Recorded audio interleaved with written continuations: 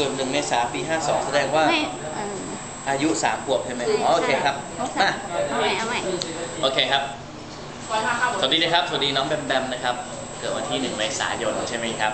ปีนี้ก็ปีละห้าคขบสามขวบแล้วนะครับ ก็ขอให้น้องแบมนะครับ เป็นเด็กดี